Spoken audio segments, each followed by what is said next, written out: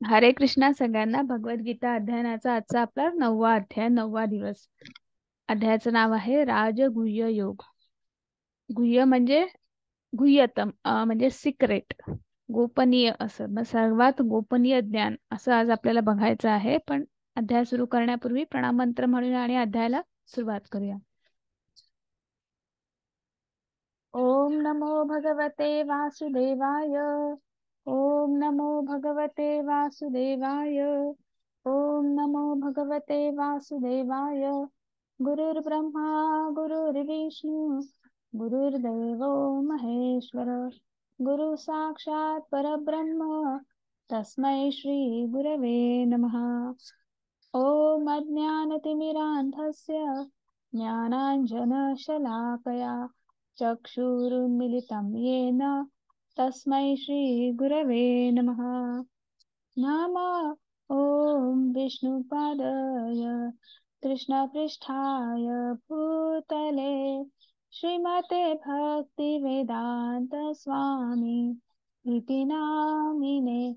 नमस्ते सरस्वती देवे गौरवाणी प्रचारिणे निर्विशेष शून्यवादी पाश्चात्य देश तारिणे जय श्री कृष्ण चैतन्य प्रभो नित्यानंद श्री अद्वैत गदाधर श्रीवासादि गौर भक्त वृंद हरे कृष्णा हरे कृष्णा। कृष्ण कृष्ण हरे हरे। हरे राम हरे राम राम राम, हरे हरे। हरे कृष्ण हरे कृष्ण कृष्ण कृष्ण, हरे हरे। हरे राम हरे राम राम राम, हरे हरे। हरे कृष्ण हरे कृष्ण कृष्ण कृष्ण, हरे हरे। हरे राम हरे राम राम राम हरे हरे। हरे कृष्ण हरे कृष्ण कृष्ण कृष्ण हरे हरे। हरे राम हरे राम राम राम हरे हरे। हरे कृष्ण हरे कृष्ण कृष्ण कृष्ण हरे हरे। हरे राम हरे राम राम राम हरे हरे. हरे कृष्णा सगळ्यांना. पुन्हा एकदा सगळ्यांचं खूप खूप स्वागत आहे. आजचा आपला नववा अध्याय राजगुह्य योग. पण आपण अध्याय सुरू करण्यापूर्वी श्री श्री राधा गोविंद यांना साष्टांग वंदन करूया. आपले गुरु श्री श्रील प्रभुपाद यांनाही साष्टांग वंदन करूया. नामानिष्ठ दास प्रभू ज्यांच्यामुळे आपण ऑनलाईन भगवद्गीता शिकतो आहोत तर आपण त्यांनाही साष्टांग वंदन करूया. आणि सगळ्यात शेवटी सर्व कृष्ण सेवकांना की ज्या सर्व कृष्ण सेवकांमुळे आपल्या एक नाही दोन नाही जवळजवळ बारा भाषांमध्ये आपल्या हा भगवद्गीतेचा ऑनलाईन कोर्स सुरू आहे. सगळ्या प्रकारचं जे सेवा देत असतात टेक्निकल असेल त्याच्यानंतर जेव्हा क्लासमध्ये आपण ऑनलाईन ज्या सेवा घेतो मेसेजच्या सेवा असेल वेगवेगळ्या सेवा ज्या आहेत भाषांतर असेल तर अशा सर्व कृष्ण सेवकांमुळे आज आपली एकोणचाळीसावी बॅच सुद्धा उत्तम पद्धतीने सुरू आहे. आपण जवळजवळ पन्नासाव्या टप्प्यावर म्हणजे आज आपला नववा अध्याय सुरू आहे. तर अशा सर्व कृष्ण सेवकांना मी वंदन करते आणि आपण पुढे जाऊया. तर अध्याय सुरू करण्यापूर्वी आपल्याला माहिती आहे की मला एका प्रश्नाचं उत्तर द्या. की आपण आता हा भगवद्गीतेचा आपण पुढच्या टप्प्यावर आहोत किंवा पुढचा पडाव आपण असं म्हणू शकतो. तर त्या टप्प्याचं किंवा त्या पडावाचं तुम्ही मला नाव सांगू शकाल का? हरे कृष्ण. हा गंगाधर प्रभूजी बोला. हरे कृष्ण. हा भक्ती योग हा पडाव. भक्ती योग. खूप छान. हरे कृष्ण. हरे कृष्ण. हरे कृष्ण. वसुधा माताजींनी पण सांगितलं. आणि या भक्ती योगामध्ये आपण दोन गोष्टी शिकलो आहोत. एक परवा शिकलो एक काल शिकलो. त्याच्यामध्ये मला सांगायचं आहे की भक्ती योगामध्ये आपण नवविधा भक्ती किंवा भक्तीचे नऊ प्रकार शिकलो. तर ते नऊ प्रकार मला कोणी सांगू शकेल का? हरे कृष्ण. हम्म.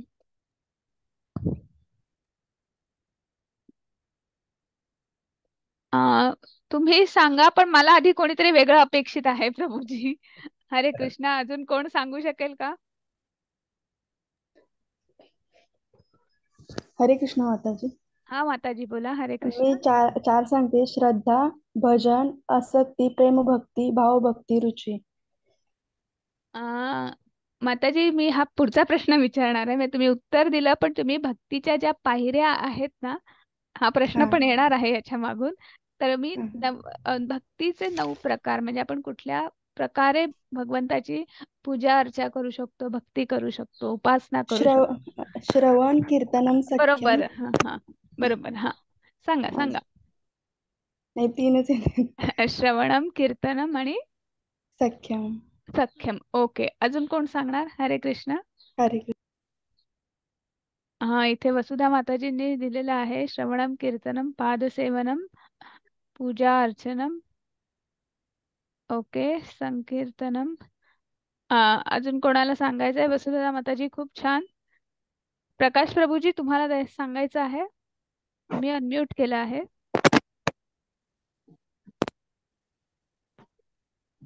आत्मनिवेदन मनन. आणि पहिले सांगितलेच आहे त्यांनी. श्रवण चिंतन मनन दास्य ओके. हम्म, आत्मनिवेदन ओ. आत्मनिवेदन. Okay okay. खूप छान प्रभूजी. गंगाधर प्रभूजी हरे कृष्ण. आता तुम्ही बोला. हरे कृष्ण. हा. श्रवण कीर्तन स्मरण वंदन पाद सेवन हम्म, दास्य हम्म. पूजन सखी हम्म. जन आणि आत्मनिवेदन. नऊ आहे. खूप छान खूप छान. आणि आता अ, खूप छान प्रभूजी सगळ्यांना अ, म्हणजे खूप छान उत्तर आहे. म्हणजे सगळ्यांच्या लक्षात आहे. आणि अ, भक्ती योगामध्ये आपल्याला हेच अपेक्षित आहे. आणि पुढचा माझा प्रश्न लगेचच आहे की भक्ती च्या ज्या पायऱ्या आहेत म्हणजे आपण जे टप्प आपण म्हणू शकतो की आपण आध्यात्मिक मार्गावर लागलो आहोत किंवा आपण भक्ती योग स्वीकारला आहे किंवा भक्ती मार्ग स्वीकारला आहे तर त्याच्या पायऱ्या आहेत. जसं आपलं अकॅडमिक इयर असतं की नाही पहिली दुसरी तिसरी असं तसं ह्या एक एक पायऱ्या आहेत. तर त्या पायऱ्या काय आहेत त्या आपण कालच्या भागात पाहिल्या कालच्या अध्यायामध्ये पाहिल्या. तर त्या आता मला सांगा नऊ पायऱ्या आहेत. हरे कृष्ण. आता मगाशी माताजींनी सुरुवात केली होती पण पुन्हा एकदा हरे कृष्ण. हरे कृष्ण. हम्म. श्रद्धा सत्संगती भजन आसक्ती प्रेम भक्ती भाव भक्ती रुची. दोन. हरे कृष्ण. हरे कृष्ण. अजून कोणाला आठवतंय? हरे कृष्ण.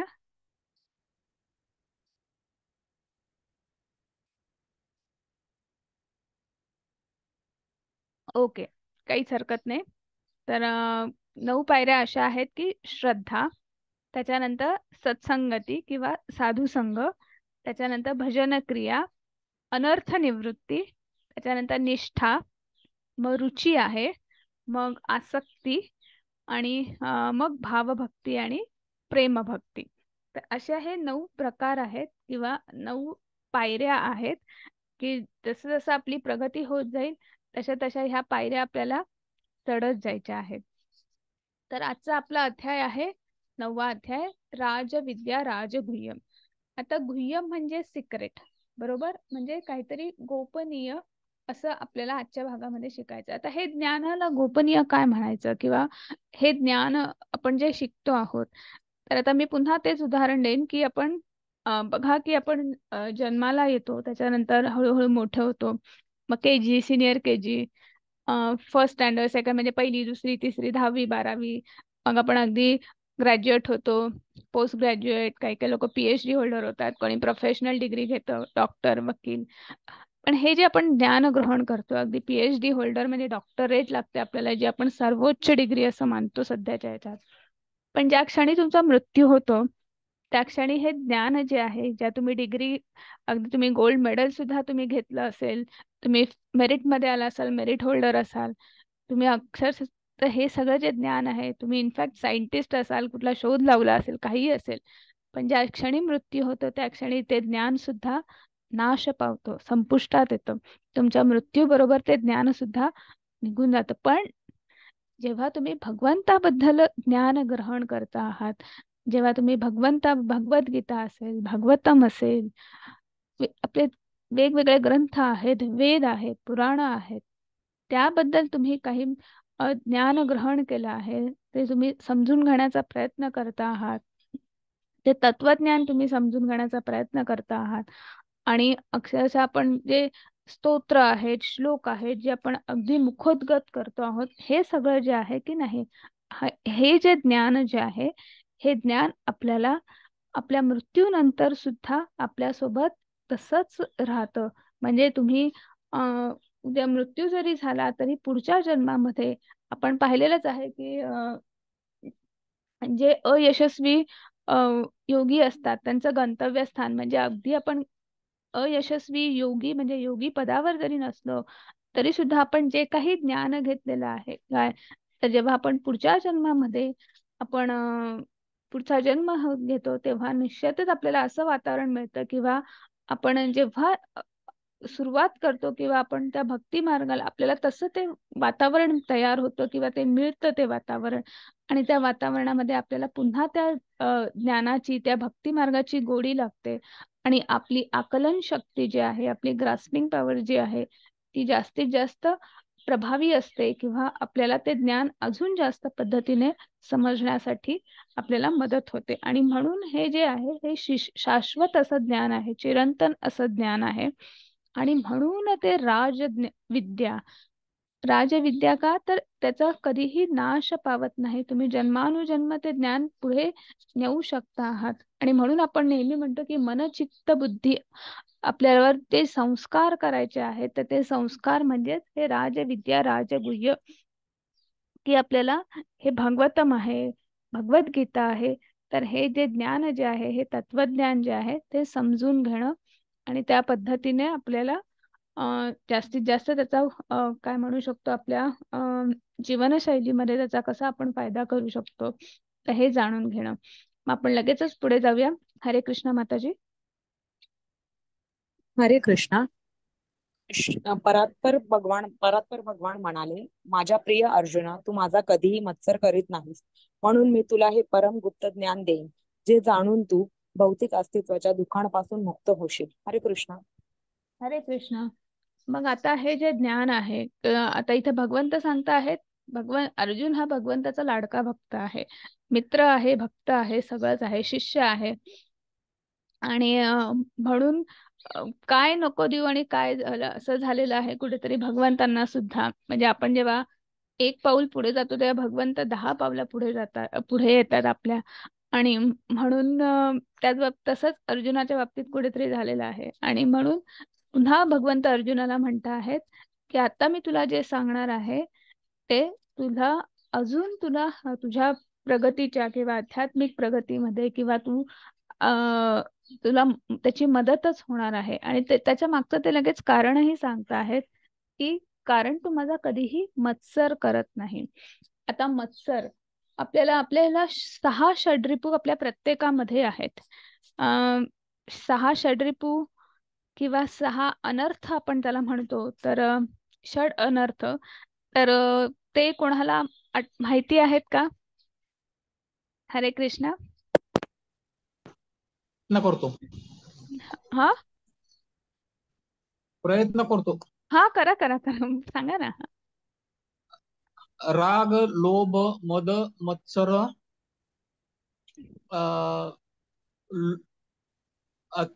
अतिहाव एवढेच येत आहेत. अगदी बरोबर. एकच राहिला पण खूप छान प्रभूजी. काम क्रोध मद मोह मत्सर. आणि हे जे आहेत सहा षड्रिपू जे आहेत आणि यातला मत्सर म्हणजे तुम्हाला क्रोध किंवा राग आता प्रभूजी जसं म्हणाले. म्हणजे बाकीचे जे आपले षड्रिपू आहेत की आपण जो म्हणजे आपल्याला जर राग आला क्रोध आला तर तो क्रोध जो आहे किंवा म्हणजे बाकीचे षड्रिपू जे आहेत ते आपण भगवंताच्या भक्तीसाठी म्हणा किंवा म्हणजे आपण आध्यात्मिक मार्गासाठीच किंवा आपण ह्या कुठल्याही गोष्टीसाठी आपण त्या- त्याचा वापर करू शकतो किंवा त्याला आपण चांगल्या गोष्टीसाठी त्याचा वापर करू शकतो असं आपण म्हणू शकतो. पण उदाहरणच द्यायचं झालं तर मी हनुमंतांचं देईल. आपण जे पाहिलेलं आहे ते अ, की जेव्हा त्यांनी रावणाची लंका जाळली तर त्यांना प्रचंड राग आलेला होता. कारण की रावणाने एका त्यांच्या म्हणजे सीतामाईचं हरण केलेलं होतं. आणि त्यामुळे एका परस्त्री च हरण करणं हे महापाप आहे. आणि असा असा अधर्मी माणसाला आणि म्हणूनच ते जेव्हा तिथे त्यांना बघितलं आणि तेव्हा त्यांनी त्यांची शेपूट जाळली तेव्हा शेप शेपटीला आग लावली तेव्हा त्यांनी नुसतं त्यांचं दालन किंवा त्यांचं त्यांचं राजमहल जे असेल त्याला आग लावली नाही तर त्यांनी संपूर्ण श्री जी लंका जी होती ती त्या त्या क्रोधामध्ये त्यांनी ती संपूर्ण लंका तिचं दहन केलं हो की नाही? म्हणजे तुम्ही चांगल्या कारणासाठी त्या गोष्टींचा तुम्ही वापर करू शकता. आसक्ती. अं, सातव्या अध्यायाचा पहिलाच श्लोक आहे की तुम्ही मला आसक्त व्हा असं भगवंत सांगतात. आसक्ती या भौतिक भौतिक जगाची आसक्ती नाही ठेवायची किंवा भौतिक जगाची ज्या अनेक महत्वाकांक्षा आहेत आपल्या इच्छा आहेत प्रलोभन आहेत त्याची आसक्ती न ठेवता एकच आसक्ती ठेवायची ती म्हणजे भगवंताची आसक्ती ठेवायची. लोभ कशाचा? ते मला भगवंताचा सेवा करायची आहे जास्तीत जास्त सेवा करायची आहे जास्तीत जास्त उपासना करायची आहे जास्तीत जास्त नामजप करायचा आहे याचा लोभ असला पाहिजे. काल मी दहा माळा केल्या आज मला अकरा करायच्या आहेत मला उद्या बारा करायच्या. हा हा जो लोभ आहे की तो संपताच कामा नये. की तो नामजप इतका वाढला पाहिजे की तो अजपाजप झाला पाहिजे. म्हणजे सतत ट्वेंटी फोर बाय सेवन आपल्या मनामध्ये तो जप सुरू असला पाहिजे. त्याचं कारणही आपल्याला माहिती आहे की कालच्याच अध्यायात आपण शिकलो की मृत्यू समय जर आपण भगवंताला स्मरण केलं तर आपल्याला मग तुम्हाला ह्या तुम्ही प्रयत्न करा. तुम्हाला प्रयत्नांनी तुम्ही निश्चितच तुम्ही मोक्षापर्यंत पोहोचू शकता. आणि म्हणजे हे सगळे जे षडरिपू आहेत याचा आपण चांगल्या गोष्टीसाठी वापर करू शकतो. पण मत्सर हा असा आहे तो आपल्याला केवळ आणि केवळ त्याचा त्यागच करावा लागतो सोडून द्यावा लागतं त्याला फेकून द्यावं लागतं. आणि नाहीतर त्याचा आपण कुठल्याही चांगल्या गोष्टीसाठी वापर करू शकत नाही. मत्सर म्हणजे एनवी म्हणजे आपण एखाद्याकडे एखादी गोष्ट आहे आणि ती त्याच्याकडे आहे म्हणून आपल्याला त्याचा मत्सर वाटतोय त्याचा द्वेष वाटतो आहे. तर हा जो मत्सर आहे तर हा आपल्याला त्याचा त्याग करणं गरजेचं आहे. आणि म्हणून इथे कुठेतरी भगवंत सांगतायत की अर्जुना तुला माझा कधीच मत्सर वाटला नाही. तू सतत कायमच माझ्या प्रेमात माझ्या भक्तीमध्ये होतास आहेस. आणि म्हणून तुला आता मी जे ज्ञान देतो आहे ते निश्चितच तुला ह्या तुला जो आता भ्रम झालेला आहे तू ह्या भौतिक दुःखामध्ये अडकलेला आहे. भौतिक दुःख आहे म्हणून मोह आहे म्हणून आसक्ती आहे आणि म्हणून तो भ्रम आहे. आणि भ्रम आहे म्हणूनच जो आपला मार्ग जो आहे किंवा जे आपलं कर्तव्य जे आहे त्याच्यापासून तो कुठेतरी बाजूला सरलेला आहे. आणि म्हणून भगवंत आता त्यांना ते ज्ञानरूपी प्रकाश देत आहेत. हरे कृष्णा माताजी. अरे आज वृषाली माताजी नाहीयेत. हा मीच वाचते श्लोक. कृष्ण हा माताजी बोला बोला. चालेल. हा म्हणताय का तुम्ही? चालेल माताजी तुम्ही म्हणा काय प्रॉब्लेम ओके चालेल हा. राजविद्या राजगुह्यं पवित्रम् ईदमम् उत्तमं प्रत्यक्षावगमं धर्मं सुसुखं कर्तुम् अव्ययम्. हरे कृष्णा माताजी. हरे कृष्ण. सर्व गोपनीय ज्ञानात अत्यंत गोपनीय असे हे ज्ञान म्हणजे सर्व ज्ञानांचा राजा आहे. हे अत्यंत पवित्र ज्ञान आहे आणि ते अनुभवजन्य प्रत्यक्ष आत्मज्ञान देणारे असल्यामुळे ते धर्माची परिपूर्णता आहे. हे ज्ञान अविनाशी आणि आचरण करण्यास अत्यंत सुखकारक आहे. हरे कृष्ण. हरे कृष्णा. मग आता हे जे ज्ञान जसं मी मघाशी सांगितलं की हे ज्ञान जे आहे हे अत्यंत पवित्र आहे. हे ज्ञान म्हणजे धर्माची परिपूर्णता आहे. हे राजविद्या असं ही याला राजविद्या असं म्हटलं जातं. आणि हे ज्ञान हे आपण अव्ययम कर्तुमम अव्ययम म्हणजे आपल्याला आचरणात आणण्यासारखं आहे. ते अविनाशी असं ज्ञान आहे की ज्या ज्ञानाचा जर आपण आपल्या आचरण ते ज्ञान घेऊन आपण जर तसं आचरण करायला लागलो तर निश्चितच आपल्याला परमानंद जे आहे ते आपल्याला प्राप्त होऊ शकतं. सुखकारक असं ज्ञान आहे. आपल्याला माहिती आहे की आपण कर्मबंधनामध्ये अडकतो बरोबर? कर्मबंधन कारण की आपण जे कर्म करतो आहोत ते आपण कर्मयोग करत म्हणजे आपण कर्म संन्यासी होऊन कर्म करत नाही आहोत. कुठेतरी पण त्या कर्मबंधनात अडकतो. आणि मग त्याचे परिणाम असे असतात की त्याचे चार परिणाम असतात की जे आपल्याला आपल्यासमोर चार रूपात येतात किंवा चार प्रकार आहेत आपण असं म्हणू शकतो. की पहिलं आहे प्रारब्ध. प्रारब्ध म्हणजे जेव्हा आपण जन्माला येतो आपल्या प्रत्येकाच्या आपल्या कायमच आपल्या बोलण्यामध्ये आपल्या घरामध्ये हे वाक्य असतं. काय लिहून ठेवलं आहे याच्या नशिबात? काय माहीत काय आहे याच्या प्रारब्धात? प्रारब्ध हा शब्द आपल्या रेग्युलर यूजमध्ये आहे. की प्रारब्ध म्हणजे आपण आपल्यासमोर रो आपल्या जीवनामध्ये जे काही चढ उतार येत असतात किंवा आपण जन्म झाल्यानंतर ज्या काही गोष्टी ज्या काही गोष्टींना आपण नेहमी सामोरं जात असतो ज्या सिच्युएशन आपल्यासमोर आहेत ते आपण मागच्या जन्मापासून घेऊन आलेलो आहोत. तो आहे ते म्हणजे त्याला आपण नशीब म्हणतो प्रारब्ध म्हणतो. दुसरं आहे फलम मुखम फलम मुख असं आहे की तुम्ही कर्म करा त्याचा तुम्हाला अं, इमिजिएट म्हणजे तुम्हाला लगेचच त्याचा त्याचं जे काही फळ आहे किंवा फळ म्हणजे त्याचं जे काही आहे ते तुम्हाला एक तर चांगलं कर्म असेल तर ते तुम्हाला लगेच त्याचा उपभोग घेता येतो किंवा वाईट कर्म असेल तर त्याचा तुम्हाला भोगणं हे गरजेचं म्हणजे लगेचच त्याचा परिणाम तुम्हाला जाणवतो. तिसरं आहे कुटुंब. उत्तम असं आहे की त्याचा तुम्हाला तुम्ही आज काहीतरी कर्म करता आहात पण त्याचा परिणाम एक तर ह्याच जन्मामध्ये खूप काळानंतर किंवा कदाचित पुढच्या जन्मात सुद्धा त्याचा प्रभाव तुम्हाला ते तुम्हाला भोगावं लागतं. काही कर्म अशी आहेत की त्याला बीजम असं म्हणतात किंवा बीज. तर ते असं आहे की ते तुम्हाला खूप जन्मानंतर तुम्हाला त्याचा ते भोगणं गरजे म्हणजे ते तुम्हाला भोगावं लागतं. धृतराष्ट्राचं सुद्धा असंच होतं की खूप त्याने शंभर जन्मापूर्वी त्याने काहीतरी केलेलं होतं पाप केलं होतं. आणि त्यामुळे शंभर जन्मानंतर त्याला अं, हे शंभर कौरव जन्माला आले आणि शंभर कौरवांचा मृत्यू म्हणजे आपल्या शंभर मुलांचा मृत्यू ला त्यांना ते सामोरं जावं लागलं. ते शंभर जन्मापूर्वीच त्यांचं पाप होतं. आणि त्यांना त्याच्यानंतर त्यांना ते भोगावं लागतं म्हणजे हे असं असतं की अनेक जन्मानंतर काही जन्मानंतर तुम्हाला ते ते बीज या रूपामध्ये तुम्हाला भोगावं लागतं. तर असे हे चार प्रकार आहेत. त्यामुळे आपण हे ज्ञान घेऊन आपण हे जे तत्वज्ञान शिकतो आहोत हे याच्याने निश्चितच आपल्याला अज्ञानरूपी अंधकार जो आहे तो बाजूला सोडून हे जे पवित्र ज्ञान आहे ते त्याचं आपण जर आचरण केलं तर निश्चितच आपल्याला आत्मसाक्षात्कार म्हणा आत्मज्ञान म्हणा तर त्याची कुठेतरी आपल्याला अनुभूती येणार आहे. आणि म्हणून आज आपल्याला ते बघायचं आहे. हरे कृष्ण माताजी. दुसरं काय सांगितलं माताजी? दुसरं काय सांगितलं? प्रारब्ध दुसरं काय? फलम कुटम सॉरी फलम मुख कुटम बीज.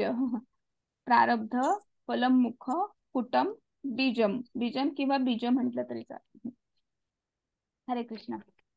हरे कृष्ण माताजी. हरे हो हरे कृष्ण. हे परंतप अर्जुना ज्यांची या भक्ती मार्गावर श्रद्धा नाही त्यांना माझी प्राप्ती होऊ शकत नाही. म्हणून या भौतिक जगतामध्ये जन्म मृत्यूच्या मार्गावर त्यांचे पुनरागमन होते. हरे कृष्ण. हरे कृष्ण. मग आता आपल्याला माहिती आहे संशय आत्मा विमूढ आत्मा की ज्यांचा भगवंतावर विश्वास नाही. त्यांना त्यांच्यासाठी आपण हे असे शब्द आपण आताच आपल्या गीतेमध्ये भगवंतांनी वापरलेले आहेत. की जे नास्तिक प्रवृत्तीचे आहेत आसुरी प्रवृत्तीचे आहेत की ज्यांचा भगवंतावर विश्वास नाही आहे किंवा भौतिक जग भौतिक सृष्टी असा त्यांचा कुठलाही विश्वास नाही आहे. आध्यात्मिक सृष्टी काय आहे? पराप्रकृती अपराप्रकृती काय आहे? काही नाही. धर्म अधर्म असा त्यांना विश्वास नाही आहे. व त्यांच्या बाबतीत काय होतं? पुन्हा जन्म मृत्यू जरा व्याधी या चार गोष्टी ज्या आहेत ते ह्या चक्रामध्ये अडकतातच आणि मग पुन्हा पुन्हा जन्म मृत्यू जन्म मृत्यू ह्याच्यामध्ये त्यांचं पुनरागमन होतं असं कुठेतरी भगवंत सांगत आहे हरे कृष्ण माताजी. हरे कृष्ण. मी माझ्या अव्यक्त रूपामध्ये रूपाद्वारे हे सर्व जगत व्यापले आहे. सर्व जीव माझ्या ठाई आहेत परंतु मी त्यांच्या ठाई नाही. हरे कृष्ण. अं, हे पण घ्या माताजी. हरे कृष्ण. अ, सर्व सृष्ट पदार्थ माझ्यामध्ये स्थित नाही माझे हे योग ऐश्वर पहा. जरी सर्व जीवांचा पालन पोषण करता अ, आणि सर्वव्यापी मी आहे तरी सुद्धा मी या व्यक्त सृष्टीचा अंश नाही. मी स्वतः सर्व सृष्टीचे उगमस्थान आहे. जसा प्रबळ वारा सर्वत्र वाहतो नेहमी आकाशात विसावतो त्याच प्रकारे सर्व प्राणी माझ्यामध्ये विसावतात हे जाणून घ्या. हरे कृष्ण. हरे कृष्ण. हे पण घ्या माताजी. अं, संपूर्ण भौतिक सृष्टी माझ्या अधीन आहे. माझ्या इच्छेनेच ती पुन्हा पुन्हा व्यक्त होते आणि माझ्या इच्छेने शेवटी तिचा प्रलय होतो. हे धनंजया ही सर्व कर्मे मला बद्ध करू शकत नाहीत. तटस्थाप्रमाणे मी या सर्व भौतिक कर्मापासून अनासक्त असतो. हरे कृष्ण. हरे कृष्ण. आता इथं आपण भगवंत सांगताहेत मी माझ्या अव्यक्त रूपाद्वारे हे सर्व जग व्यापलेले आहे. आणि सर्वजण माझ्या ठाई आहेत परंतु मी त्यांच्या ठाई नाही. आता हे आपण हे जे वाक्य आहे की हे सर्व माझ्या अधीन आहेत माझ्या पण माझं त्यांच्यावर नियंत्रण आहे पण ते माझ्या नियंत्रणाखाली नाही वगैरे किंवा सर्व माझ्या ठाई आहेत मी त्यांच्या ठाई नाही. हे असे वाक्य आपण भगवद्गीतेमध्ये किंवा आपण वेगवेगळ्या श्लोकांमध्ये हा हे वाक्य आपण पाहिलेले आहे. हे जे आहे याला अचिंत्य भेदाभेद योग किंवा तत्व असं म्हणतात. तर त्याच्यासाठी आपल्याकडे रोजचं असं एक उदाहरण असं आहे की आपण रोज घरामध्ये रात्री दही लावतो सॉरी हा दुधा विरजण लावतो. दुधाचं दही लावतो बरोबर? मग ते विरजण लावताना आपण काय करतो? रोज रात्री दुधाला विरजण लावतो मग दुसऱ्या दिवशी त्याचं दही होतं. मग दही ते दही घुसळल्यावर आपण त्याचं ताक आणि लोणी होतं. लोण्याचं तूप होतं. हो की नाही? मग आता मला सांगा दूध दुधाचे गुणधर्म दही दह्याचे गुणधर्म ताकाचे गुणधर्म त्याच्यानंतर लोण्याचे गुणधर्म तुपाचे गुणधर्म प्रत्येक गुणधर्म वेगळे आहेत. पण शेवटी तूप हे कशाचं बनतं? दुधापासूनच बनतं. पण ती एक प्रोसेस आहे. म्हणजे दुधाचा विकार म्हणजे दही म्हणजे आणि त्यामध्ये त्या दह्यापासून ताक लोणी मग लोण्यापासून तूप हो की नाही? तर असे हे जे हा जो विस्तार आहे किंवा हे जे स्वरूप आहे तसंच भगवंताची ही जी प्रकृती आहे प्रकृती म्हणजे भगवंत परमात्मा परमेश्वर परमात्मा भगवान श्रीकृष्ण आणि त्यांच्यापासून हा प्रकृतीचा विस्तार झालेला आहे. प्रकृती हा एक विकार स्वरूप अशी आहे आणि त्याच्यामुळे आणि त्याचा त्याचा विस्तार. मग प्रकृतीमध्ये मग ब्रह्मदेव आहेत. ब्रह्मदेवापासून अजून पुढची संपूर्ण मानव जातीचा सृष्टीचा विस्तार झालेला आहे. संपूर्ण चौऱ्याऐंशी लक्ष योनींचा विस्तार झालेला आहे. तर हे सगळं जे आहे की हा जो आहे त्यामुळे प्रत्येकाचे गुणधर्म प्रत्येकाचे वैशिष्ट्य हे वेगवेगळे आहेत. प्रत्येक जण या प्रकृतीमध्ये अड अड अडकल्यामुळे म्हणू शकतो किंवा या प्रकृतीमध्ये त्याचा जन्म झाल्यामुळे त्या तीन गुणांमध्ये त्या तीन गुणांनी बद्ध आहे. ज्याला आपण आपल्या आत्म्याला आपण बद्ध आत्मा म्हणतो की नाही तो सुरुवातीला शुद्ध असतो पण जेव्हा तो या प्रकृतीच्या संपर्कात तेव्हा तेव्हा तो बद्ध आत्मा होतो. हे आपण काय पाहिलेलं आहे की नाही तर बद्ध आत्मा जो आपला आहे तर त्यामुळे प्रत्येकामध्ये तीन गुण मग ते तीन गुण सारखेच आहेत का नाही? रज तत् सत रज तत्व हे जे तीन गुण आहेत तम सॉरी तत्व नाही तम. तर ह्या तीन गुणांचे प्रत्येकामधलं प्रमाण कमी जास्त आहे. हो की नाही? तर त्या पद्धतीने प्रत्येकाचा गुणधर्म म्हणा वैशिष्ट्य म्हणा प्रत्येकाची वागण्याची पद्धत बोलण्याची दिसण्याची प्रत्येकामधले कलागुण हे सगळं सगळं प्रत्येकामधलं सामर्थ्य प्रत्येकाची बलस्थान हे सगळं सगळं वेगळं आहे. आपण भगवंताचं अव्यक्त रूप पाहिलेलं आहे. सातव्या अध्यायात पाहिलेलं आहे की भगवंताचं अव्यक्त रूप चराचरात आपण म्हणतो की जळीस्थळी काष्टी पाषाणी भगवंत आहे. म्हणजे काय? तर लिट आपण जो जे पाणी पितो रोज सकाळी उठल्यावर किंवा दिवसात आपण जितक्याही वेळा पाणी पितो त्या त्या पाण्याची चव त्या पाण्यामधली जी चव आहे त्याच्यामध्ये भगवंत आहेत. अशा विविध रूपांमध्ये आपल्याला भगवंत दिसतात. पाऊस पडतो पहिला पाऊस पडतो मातीमधला जो सुगंध जो आहे त्याच्यामध्ये भगवंत आहे.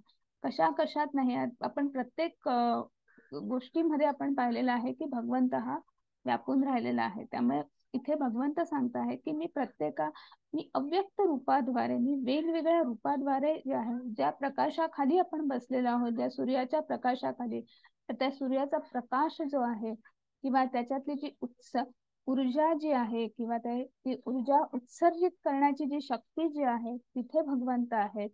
आपलं हे संपूर्ण ग्रहमंडल जे आहे ते एका सुसूत्रतेने एका विशिष्ट पद्धतीनेच आहे आणि त्या एका कक्षेमध्ये आहे. ती कक्षा जणू एखाद्या मोत्यांच्या माळ्यासारखी आहे. तर त्या माळेमधला जो धागा जो आहे तो आपल्याला दिसत नाही. फक्त ती माळ ती माळेची सर दिसते. अशा पद्धतीने प्रत्येकामध्ये भगवंताची शक्ती आहे आणि म्हणून त्या सगळ्या गोष्टी व्यवस्थित आहेत.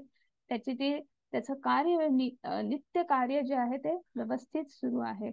तर भगवंत तेच सांगता आहेत की सगळ्या अव्यक्त स्वरूपामध्ये भगवंत सर्वी सर्वत्र आहे यत्र तत्र सर्वत्र जळीस्थळी काष्टी पाषाणे. आणि सर्व जीव सर्व सजीव जीव आपण म्हणू सजीव म्हणू कालच आपण नवीन शब्द शिकलो आपण आत्म्याला ब्रह्म म्हणतो. हो की नाही? तर ब्रह्म परब्रह्माचा अंश असा आपला आत्मा म्हणजे ब्रह्म.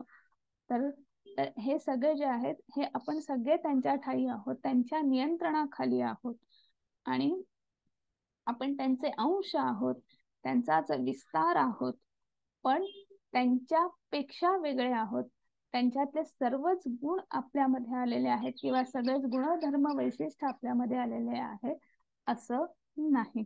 आता आपण पुढे लगेच बघूया की इथे भगवंत आता सा काय सांगत आहेत की तरीही सर्व सृष्ट पदार्थ म्हणजे इथे भगवंत सांगत आहेत की ह्या सर्व गोष्टींचा ह्या तिन्ही जगाचा तिन्ही लोकाचा प्रत्येक जीवामधचं पालन करता पालन पोषण करता सर्व व्यापी मी आहे. आपण काल अ, गोलोका पाहिला तर गोलोका चार्टमध्ये आपण ब्रह्मांड पाहिलं. महाविष्णूंचा विस्तार महाविष्णूंच्या श्वासोश्वासापासून ब्रह्मांड तयार होतो. आणि प्रत्येक ब्रह्मांडाचा आपण आत्मा म्हणू शकतो तर त्या ब्रह्मांडामध्ये खाली गर्भोदक्षाय विष्णू स्थित आहेत. आणि त्या गर्भोदक्षाय विष्णूंचा विस्तार म्हणजे क्षीरोदक्षाय विष्णू ज्याला आपण परमात्मा सुद्धा म्हणतो. तर प्रत्येक क्षीरोदक्षाय विष्णू किंवा परमात्मा आपल्या सगळ्यांच्या हृदयामध्ये स्थित आहे. आणि आपल्या सगळ्यांना चेतना देण्याचं काम प्रत्येक सृष्टीमधल्या प्रत्येक जीवामध्ये प्रत्येक सजीवामध्ये भगवंत आहेत. आणि त्या परमात्म्याच्या स्वरूपामध्ये सृष्टीच्या प्रत्येक गोष्टीचं ते प्रत्येक जीवाचं पालन पोषण करता आहेत.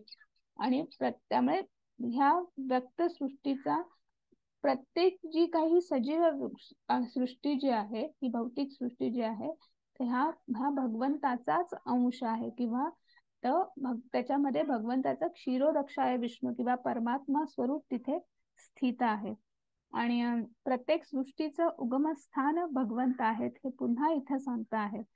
आणि जसा वारा प्रबळ सर्वत्र वाहत असतो आकाशात विसावतो वाहतोय वाहतोय वाहतोय आणि तो संपूर्णपणे हा आकाशामध्ये सर्वत्र तो असा पसरत असतो वाहत राहतो अशा पद्धतीने हे सगळे प्राणी हे सगळे जीवसृष्टी माझ्यामध्ये विसवता आहेत असं कुठेतरी भगवंत सांगता आहेत.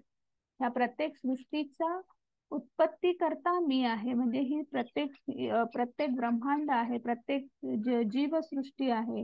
ह्या चौऱ्याऐंशी लक्ष योनी आहेत.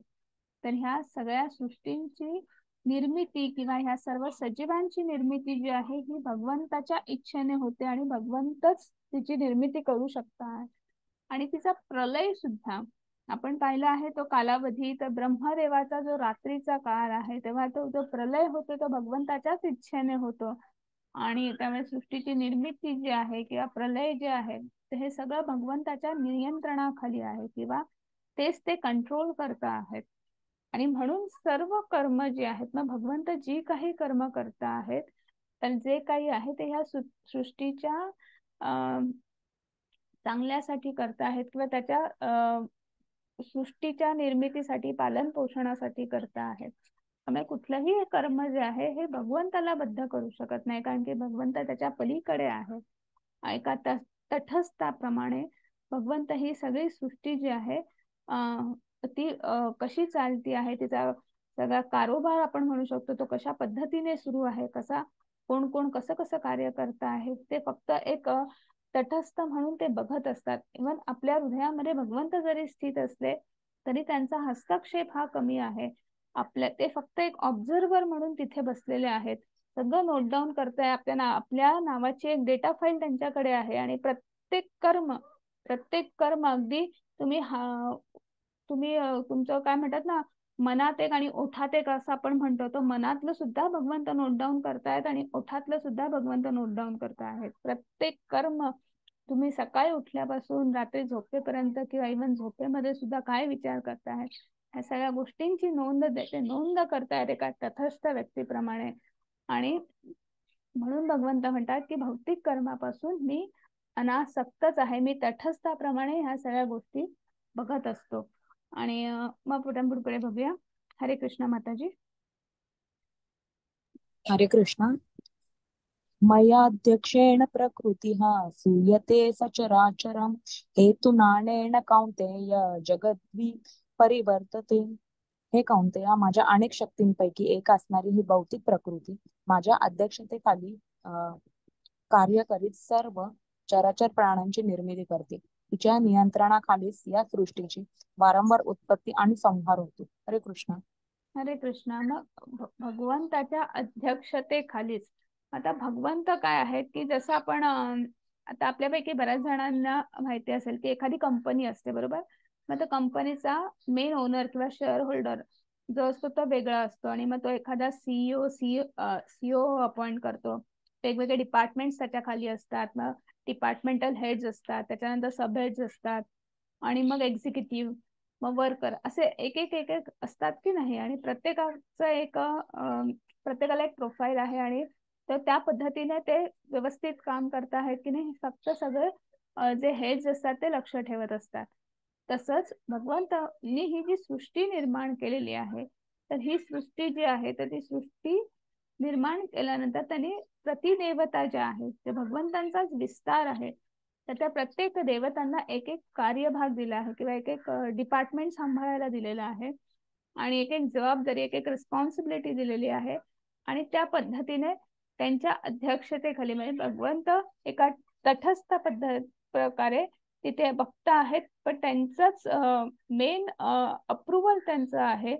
पण त्यांनी ती जबाबदारी प्रतिदेवतांना दिलेली आहे आणि त्या पद्धतीने आपली ही सृष्टीचा हा जो कारोबार म्हणू शकतो किंवा काय त्याची उत्पत्ती संहार त्याचं पालन पोषण सगळं हे होत असतं. ह्या संपूर्ण प्राण्यांची निर्मिती मग त्यांचं ते पुन्हा त्यांना ते ते पुन्हा या जन्म मृत्यूच्या चक्रात म्हणजे पुन्हा भौतिक जगामध्ये येणार आहेत का त्यांना मुक्ती मिळणार आहे किंवा काय हे सगळं जे आहे हे भगवंताच्या नियंत्रणाखालीच होत असतं.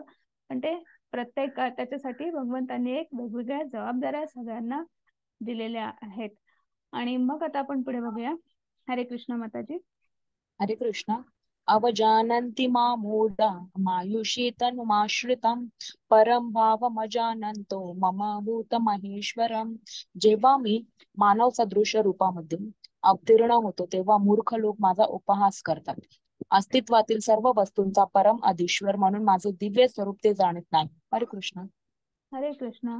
मग आता इथे भगवंतांनी अं इथे म्हणत आहेत की जेव्हा भगवंत मानव रूपामध्ये अवतीर्ण होतात तेव्हा जे संशयात्मा आपण विमूढ आत्मा मूर्ख असे जे काही आहे इथं मूढ शब्द वापरलेला आहे. मूढ म्हणजे मूर्ख.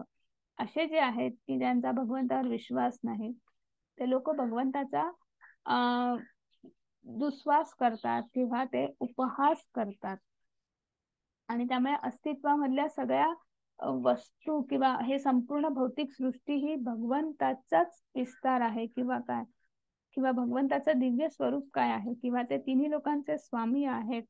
किंवा त्यांच्याच अध्यक्षतेखाली हे सगळं सुरू आहे? त्यांच्याच नियंत्रणाखाली ही सृष्टीची सृष्टीचा कारोबार सुरू आहे असं आपण म्हणू शकतो. तर हे त्यांना पटत नाही किंवा हे भगवंताचं दिव्य स्वरूप जे आहे ते जाणू शकत नाही.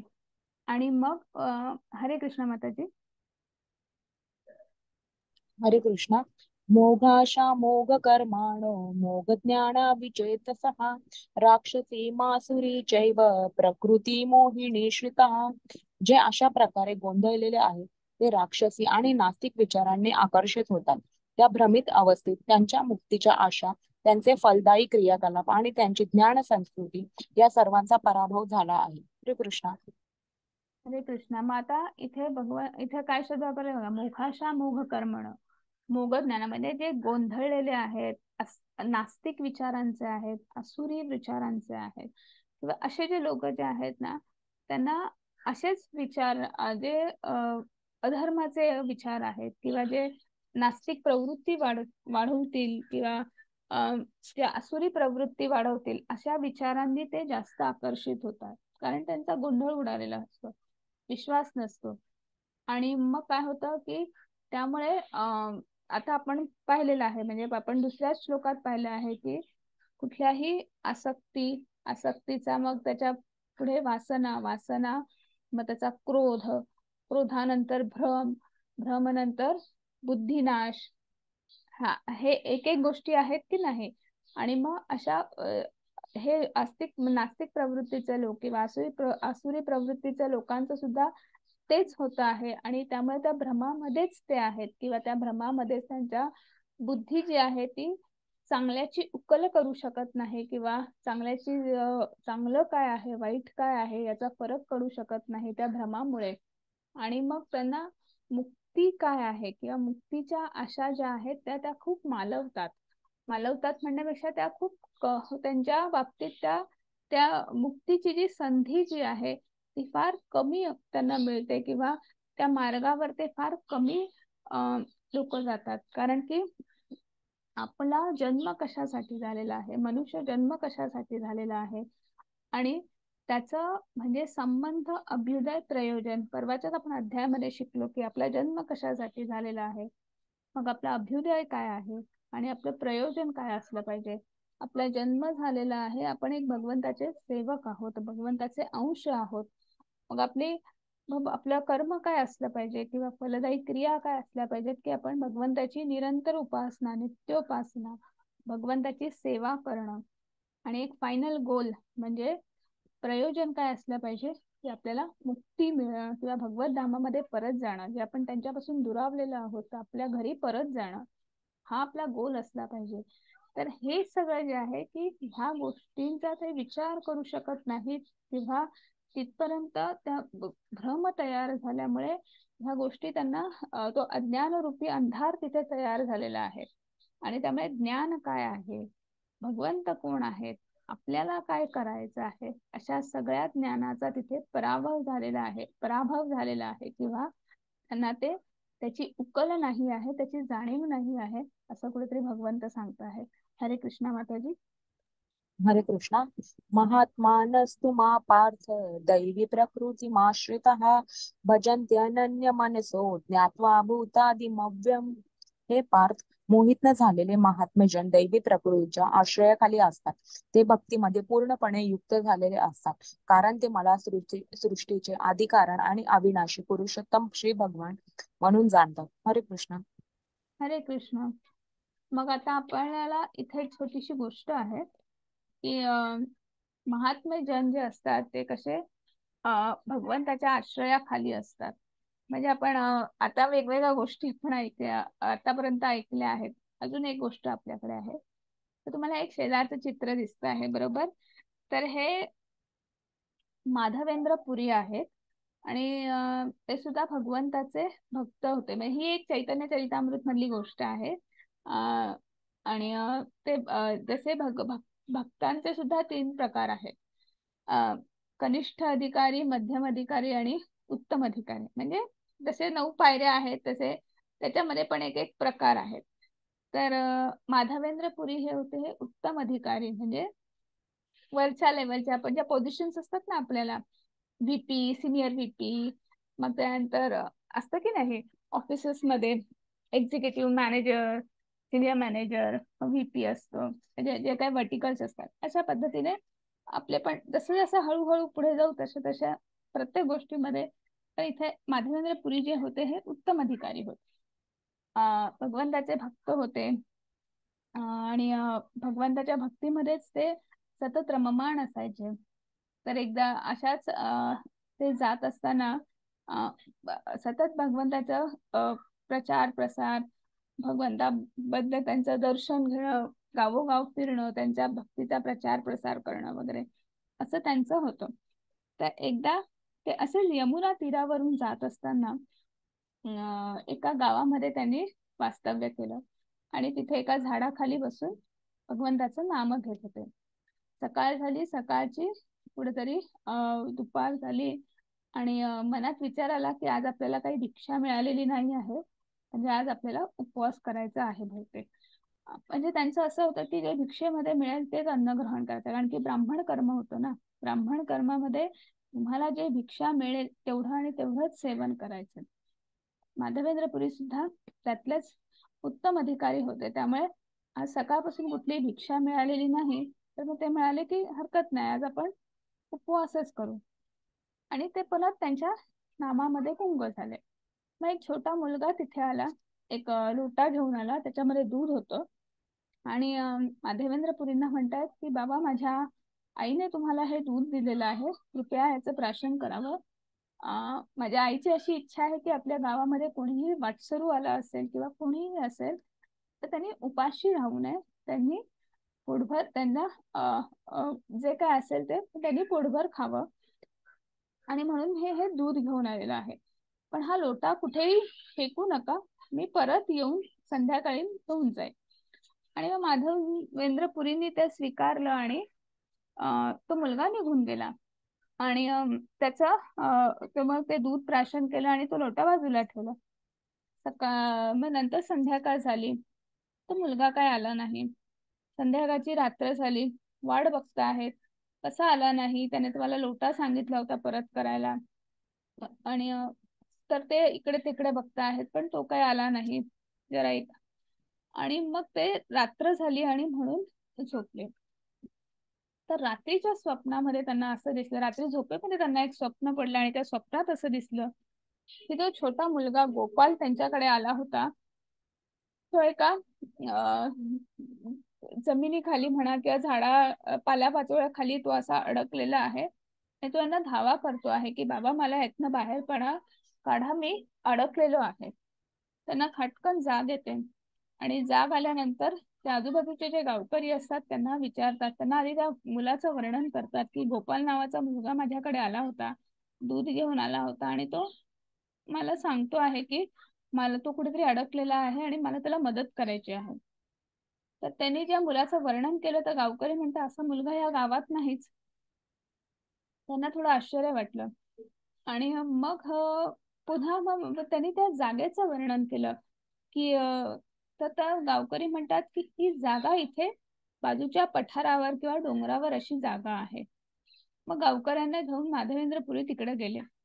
आणि मग ती जागा त्यांना बरोबर जी स्वप्नात दिसली होती ती जागा तिथे समोर आली. ते सगळं बाजूला सारलं पालापाचोळा बाजूला सारला ती थोडीशी जमिनीवरची माती बाजूला सारली. आणि मग त्यांना एक त्यांना तिथे एक मूर्ती मिळाली आणि भगवंताची मूर्ती मिळाली. आणि मग त्या मूर्तीची मग तिथे स्थापना केली. आज आपण नाथपुरीला जेव्हा आपण जातो किंवा तर तिथे जी मूर्ती आहे किंवा हे तर हे माधवेंद्र पुरींनीच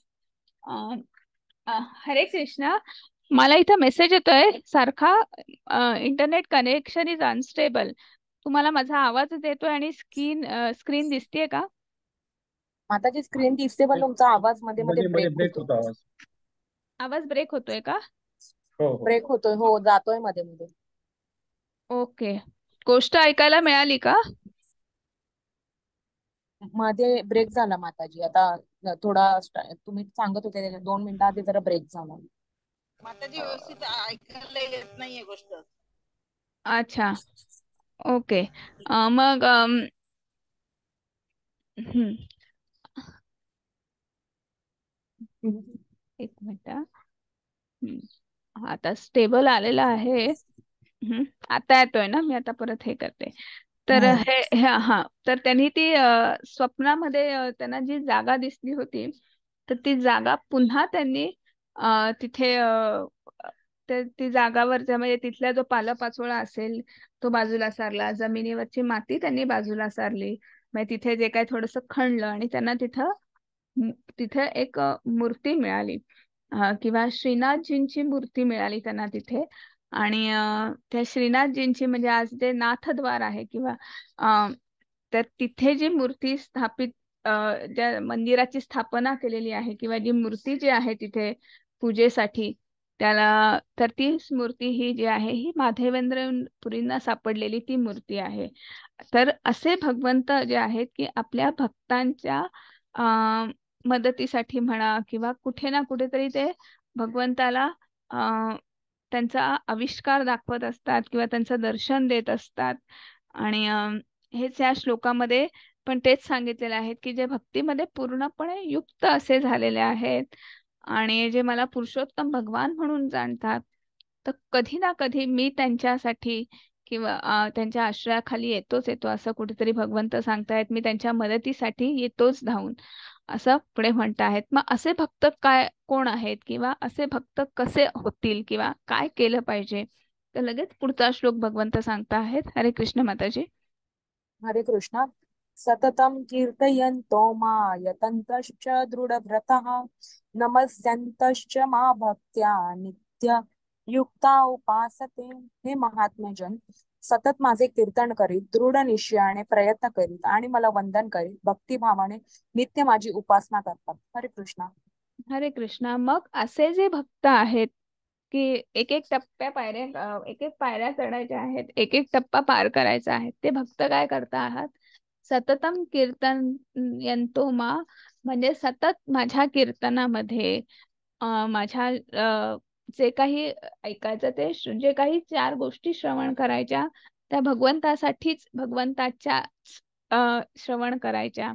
म्हणजे श्रवणम कीर्तनम अर्चनम जे काही आहे ते सगळं आणि सगळं भगवंतासाठीच करायचं. आणि पूर्णपणे प्रयत्नांनी दृढ निश्चयने आणि सगळ्यात महत्त्वाचा म्हणजे भक्तिभाव प्रेमभाव. ह्या अशा पद्धतीने जेव्हा तुम्ही माझी उपासना करतात तेव्हा निश्चितच तुम्हाला तुम्ही भक्तीच्या किंवा अध्यात्माच्या पुढच्या पुढच्या टप्प्यांवर किंवा पुढच्या पुढच्या पायऱ्यांवर जातात. शेजारी आपल्याला प्रभुपाद यांचं उदाहरण आहे की कोण कुठल्या बंगालच्या एका घरामध्ये जन्माला आलेले प्रभुपाद अमेरिकेत जातात. देश अनेक देशांमध्ये फिरतात वयाची सत्तरी मध्ये आणि त्याच्यानंतर एक नाही असे अनेक अ, इस्कॉन सार इस्कॉनचीच अ, म्हणजे इस्कॉनची स्थापना करून इ- इस्कॉनच्या अध्यक्षतेखाली अनेक मंदिरांचं ते अ, स्थापना करतात. भगवद्गीता भागवतम ज्याची कोणाला माहिती नव्हती अशा परदेशामध्ये जाऊन त्यांना कृष्ण कोण आहेत प- परमात्मा काय आहे भगवंत काय आहे ज्याची माहिती नव्हती. अशा गोष्टींचा प्रचार प्रसार करतात. आणि हे के हे कसं शक्य आहे?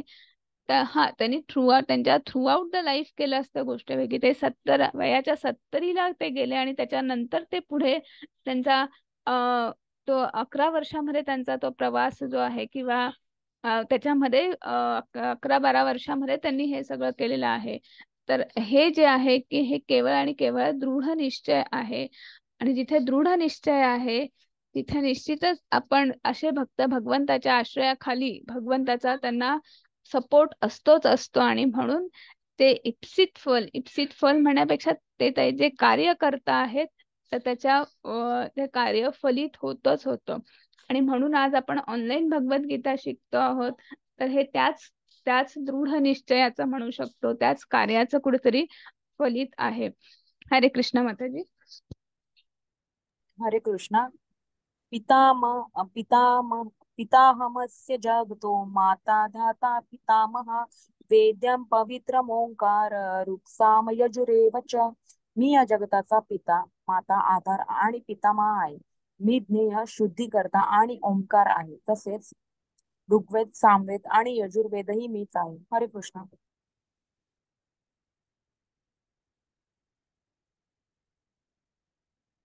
हरे कृष्णा. मग आता इथे काय सांगता आहेत भगवंत पुन्हा आपला आणि भगवंताचं काय नातं आहे? संबंध. आपला आणि भगवंताचा काय संबंध आहे? पुन्हा सांगतायत की ह्या जगताचा पिता मी आहे. आपण पाहिलेलं आहे की ह्या जगताचा विस्तारच भगवंतापासून या प्रकृतीचा विस्तार भगवंतापासून झालेला आहे. त्यामुळे जे आपण ज्या चौऱ्याऐंशी लक्ष योनी म्हणतो आपण पुढच्या पुढच्या अध्यायात बघणार आहोत जे प्रथम बीज जे आहे ते भगवंतांपासूनच निर्मिती त्याची झालेली आहे. त्यामुळे ह्या संपूर्ण जगाच्या निर्म जो निर्माता आहे ह्या सगळ्या जगताचा पिता म्हणू शकतो. त्यांना आपण पितामह सुद्धा म्हणू शकतो. कारण की त्यांचाच अं, त्यांचाच मुलगा मुलाचा मुलगा मुलाचा मुलगा त्यांच्याच त्या याच्यातनं कुठल्या तरी आपण अं, कुठल्या तरी वंशामध्ये म्हणावा किंवा कुठे आपला जन्म झालेला आहे. किंवा आणि म्हणून ते आपल्या ह्या संपूर्ण जगामध्ये ह्या संपूर्ण जगाचा विस्तार जो आहे किंवा ह्या संपूर्ण ज जीवनसृष्टीचे पिता आपण त्यांना म्हणू शकतो. माता सुद्धा म्हणू शकतो कारण की त्यांचाच विस्तार ही प्रकृती आहे. ज्यांनी बीज दिलं आणि मग त्या प्रकृतीने ते धारण केलं आणि मग पुढे आपली निर्मिती झाली आपला जन्म झाला. म्हणजे पिता माता आपल्या आधारस्तंभ म्हणू शकतो ज्या पृथ्वीवर आपण आहोत ज्या भूमातेवर आपण ज्या भूलोकावर आहोत तर त्या गोष्ट त्याचा आधारस्तंभ जे गुरुत्वाकर्षण जी शक्ती जी आहे हो की नाही? जी संकर्षण भगवंताचे संकर्षण शक्तीचा जो विस्तार जो आहे ज्याला आपण गुरुत्वाकर्षण शक्ती म्हणतो तर तोच आपला आधार आहे किंवा त्याच आधारावर ही संपूर्ण सृष्टी सुरू आहे किंवा जीवसृष्टी जी आहे किंवा हे मृत्यू लोकावर जे काही अं, संपूर्ण जीवन जे आहे जी उत्तम पद्धतीने सुरू आहे तर इथे आपल्याला अं, हे सगळं जे आहे हे भगवंतापासूनच निर्माण झालेलं आहे. आणि ते सगळं सुरळीत पार पडण्यासाठी त्या सगळ्या व्यवस्थित पार पडण्यासाठी ही सृष्टी व्यवस्थित चालण्यासाठी भगवंतांनी काही नियम आखून दिलेले आहेत काही गोष्टी सांगितलेल्या आहेत. मग त्या कशात सांगितलेल्या आहेत? वेदांमध्ये सांगितलेल्या आहेत. त्यांनी मग ते जे वेदांमध्ये सांगितलेलं ते जे ज्ञान जे आहे ते ज्ञान कशा भगवंतांनी सांगितलेलं तत्वज्ञान हे वेदांच्या रूपामध्ये आपल्या ह्या समाजामध्ये प्रचलित आहे किंवा या सृष्टीमध्ये प्रचलित आहे या ब्रह्मांडामध्ये प्रचलित आहे.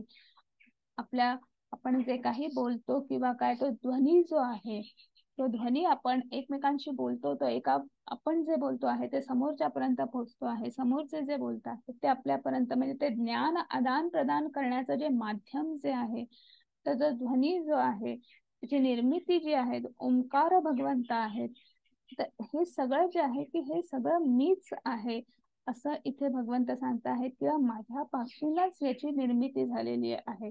म्हणजे आपला आणि भगवंताचा काय संबंध आहे? तर भगवंत आपले माता पिता पितामह किंवा आपण हे जे जीवन जगतो आहे हे जे ज्ञान आदान प्रदान करतो आहे तर ती साधन निर्मिती सुद्धा किंवा ते प्रत्यक्ष ते ज्ञान ते तत्वज्ञान त्याची निर्मिती सुद्धा तिथे सुद्धा ग्रंथ स्वरूपामध्ये त्या ज्ञानाच्या स्वरूपामध्ये तिथे भगवंत स्थित आहे.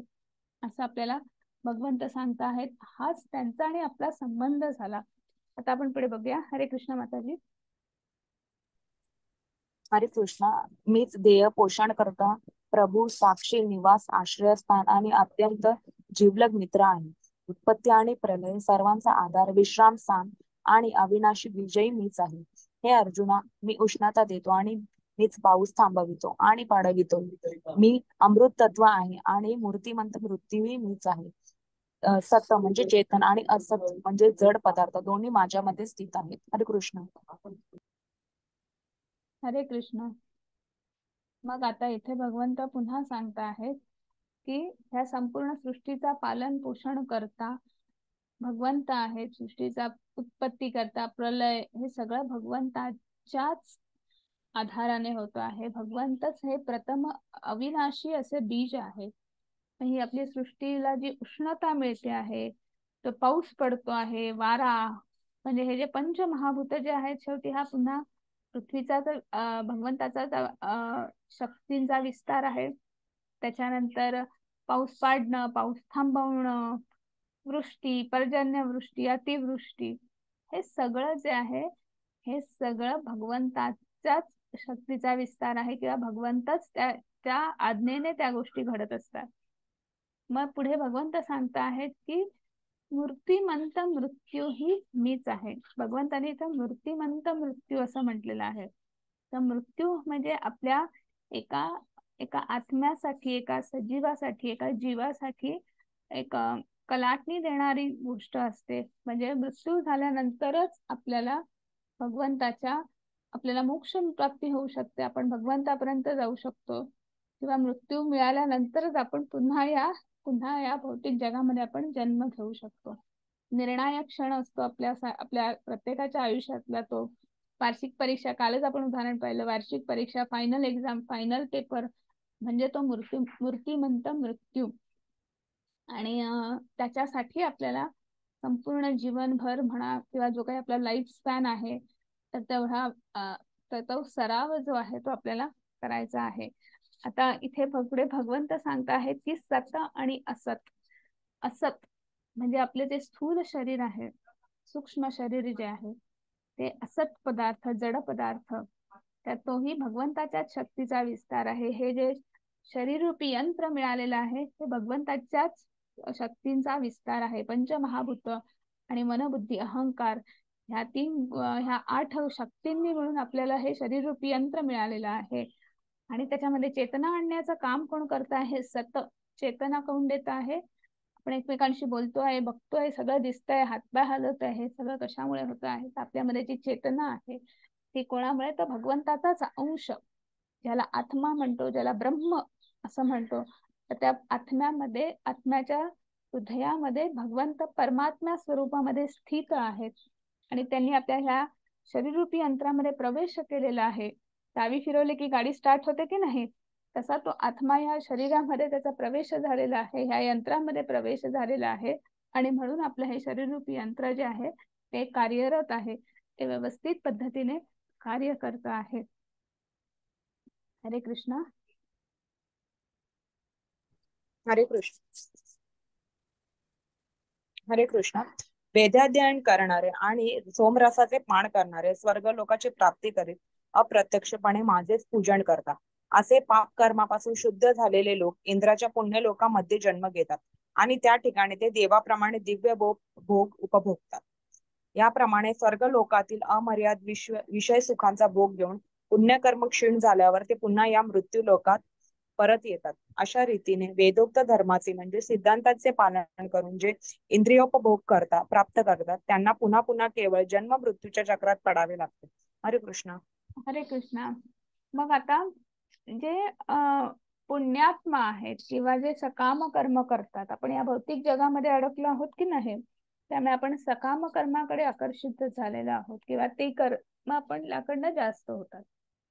मग असे जे लोक आहेत पुण्यकर्म वाढलेलं आहे आणि मग शास्त्रांवर विश्वास आहे वेदाध्ययन करता आहेत ज्ञान काय आहे माहिती आहे. आणि मग अशा आत्म्याचा उद्धार होतो. उद्धार होतो कुठे जातात? स्वर्ग लोकात मग स्वर्ग लोकात गेल्यानंतर ते दिव्य शरीर अनुभव त्या दिव्य शरीर त्याच्यानंतर ते दिव्य स्वर्ग लोक इतका सुंदर आहे. आणि त्या सगळ्या सुखांचं ते अनुभूती घेतात. सगळं उपभोगतात. आणि मग काय होतं की कुठेतरी मग ते पुण्याची शिजोरी जी आहे किंवा तो बॅलन्स जो आहे कर्माचा तर तो कुठेतरी संपुष्टात येतो. आणि म्हणजे ते सुख जे आहे ते दिव्य अनुभूती जी आहे ती पण संपुष्टात येते. आणि मग पुन्हा मृत्यू लोकांमध्ये जन्म घ्यायचा आणि मग पुन्हा नव्याने कर्म करायची. म्हणजे काय? की तुम्ही कितीही चांगलं काम केलं किंवा कितीही पुण्य कर्म केली तरी त्याचा तुमचा त्याची शिदोरी संपल्यावर त्याचा बॅलन्स कुठेतरी संपल्यावर तर पुण्य कर्म त्याचं क्षीण झाल्यानंतर खर्ची झाल्यानंतर आपण जी काही सुख अनुभवतो आहोत ती सगळी सुख म्हणजे आपले पुण्य कर्म जे आहे ते खर्ची जात आहे. हो की नाही? आणि त्याच्यामुळे पुन्हा आपल्याला ह्या मृत्यू लोकांमध्ये जन्म आणि पुन्हा मृत्यू लोकात आल्यानंतर मग पुन्हा नव्याने सगळं सुरू. आणि मग पुन्हा त्या इंद्रिय विषय इंद्रिय उपभोग आणि सगळं सगळं पुन्हा ते नाशवंत शरीर ह्या त्याच्यामध्ये प्रवेश म्हणजे जन्म मृत्यू जरा व्याधी ह्या चार गोष्टींचा अनुभव पुन्हा पुन्हा घ्यायचा आहे. पुन्हा म्हणजे जसं इथे तुम्हाला दिसतंय की नाही जायंट व्हील ते कसं फिरतंय गोल वर खाली वर खाली. असा आपल्या ह्या आत्म्याचा प्रवास. आपण त्या एका ब्रह्मदेवाच्या एका दिवसामध्ये बघा किती दिव्य युग आहेत. म्हणजे किती युग किती जन्म लाखो हजारो किती जन्म आपले झालेले आहेत. आणि अजून पुढे किती घेणार आहोत? माहीत नाही. तर या याच्यामध्ये आपण फसलेलो आहोत आपण अडकलेलो आहोत. हे काय आहे? दुःखालय अशाश्वतम. कालच आपण पाहिलेलं आहे की या दुःखालयामधनं आपण त्याच्यामध्ये अडकलेलो आहोत. हरे कृष्णा माताजी. हरे कृष्ण. अनन्या अनन्याशंती तयंतो मा जे ये जना पर्यपासते. तेषां नित्यभियुक्तानां योगक्षेम वहाम्यहम. जे माझी भक्तिभावाने पूजा करतात माझ्या दिव्य स्वरूपाचे चिंतन करतात त्यांच्याकडे जे उणे आहे ते मी त्यांच्याकडे नेतो आणि त्यांच्याकडे जे आहे ते जपतो. हरे कृष्ण. हरे कृष्णा. आणि म्हणून भगवंत लगेच पुढे सांगत आहेत की जो अनन्य भक्तिभावाने अनन्य चिंतयंतो मा येजना पर्युपासते जे माझी भक्तिभावाने पूजा करत आहेत माझ्या दिव्य स्वरूपाचं अनुभूती घेत आहेत किंवा चिंतन करत आहेत योगक्षेमम वहाम्याम मला सांगा योगक्षेमम वहाम्याम आपण कुठे ऐकलं आहे वाचलं आहे? आपण वाक्य आहे ते. हो हो अगदी बरोबर. एल आय सीचं ब्रीद वाक्य आहे. योगक्षेम महाम्यहम त्याचा अर्थ असा आहे की तुमच्याकडे जे काही उण आहे आणि जे माझ्याकडे आहे ते जे जे आहे ते मी जपतो आहे आणि जे नाही आहे ते सुद्धा मी तुम्हाला देतो आहे. एल आय चे आपले प्रीमियम असतात बघा. एक साधारण दहा वर्ष बारा वर्ष दहा वर्षाची पॉलिसी असेल तर एक साधारण आपण असतं की नाही की ते दहा वर्ष भरायचे असतात. प्रत्येक काही प्रीमियम ठरलेला असतो.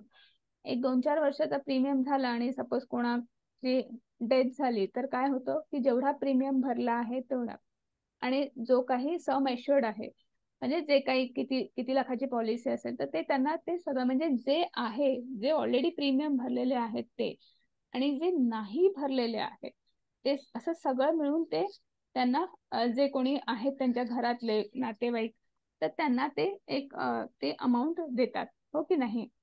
त्याच पद्धतीने भगवंत सुद्धा जे भगवंताची भक्ती करता आहेत भगवंताच्या दिव्य स्वरूपाचे ज्यांना जाणीव आहे त्यांचं चिंतन सतत करता आहेत स्मरण करता आहेत त्यांच्या स्मरणात सदैव आहे तर अशा लोकांच्या सुद्धा त्यांच्याकडे जे नाही आहे किंवा जी कमतरता आहे जी उणीव आहे ती सुद्धा भगवंत भरून काढता आहेत जे आहे जे कर्म केलेलं आहे जे अकर्म आहे तो बॅलन्स तर तसाच आहे. पण जे कदा जे नाही आहे त्याची सुद्धा उणीव ते सुद्धा ते भरून काढता आहेत असं इथे भगवंत सांगता आहेत. हरे कृष्ण माताजी. हरे कृष्ण. येप्यन्य देवता भक्ता यजंते श्र तेपि मामेव कौंतेय यजन्त्य विधिपूर्वकम्। हे कौंतेय जे लोक इतर देवतांचे भक्त आहेत आणि जे त्यांचे श्रद्धेने पूजन करतात ते वस्तुतः माझे पूजन करतात परंतु त्यांची ती आराधना चुकीच्या मार्गाने केलेली असते. हरे कृष्ण. हरे कृष्ण. मग आता इथे भगवंत काय सांगत आहेत की जे लोक इतर देवतांचे म्हणजे प्रतिदेवता आताच आपण बघितलं की ज्या प्रतिदेवता आहेत त्या सुद्धा भगवंताचाच विस्तार आहेत. एक एक जबाबदाऱ्या त्यांना सांभाळायला गेलेल्या आहेत. तर ते त्यांचं जे ज्यांची श्रद्धेने पूजा अर्चा करत आहेत त्यांची उपासना करत आहेत तर ते इनडायरेक्टली माझीच पूजा अर्चा करतायत किंवा माझीच उपासना करत आहेत. म्हणजे कारण की तो भगवंताच्याच भक्तीचा भगवंताचाच विस्तार आहे की नाही? आणि म्हणून आपण ज्या काही प्रतिदेवतांची पूजा करतो आहोत तर इनडायरेक्टली आपण भगवंताचीच पूजा करतो आहोत भगवंताचीच उपासना करतो आहोत.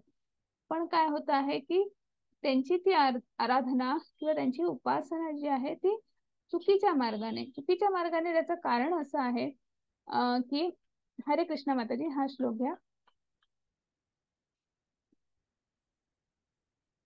हरे कृष्ण. हा हरे कृष्ण माताजी. यान्ति देवव्रता देवान् पितृ पितृव्रतः भूतानि यान्ति भूतेजा यान्ति मध्यजिनोपि माम. जे देवतांची पूजा करतात ते देवतांमध्ये जन्म घेतील. जे भूत आणि आत्मा यांची पूजा करतात ते अशा प्राण्यांमध्ये जन्म घेतील. जे पूर्वजांची पूजा करतात ते पूर्वजांकडे जातील. आणि जे माझी उपासना करतात ते माझ्या बरोबर राहतील. हरे कृष्ण. हरे कृष्ण. मग आता आपण जे ह्या श्लोकात पाहिलं हो की नाही? की जे अं, प्रतिदेवतांची भक्ती किंवा पूजा करत आहेत हो की नाही? म्हणजे देवदेवतांची पूजा करता आहेत तर त्यांना त्यांचा जर उद्धार झाला तर त्यांचा उद्धार कुठे होईल? की देवलोकामध्ये किंवा स्वर्गामध्ये ते जन्म घेतील.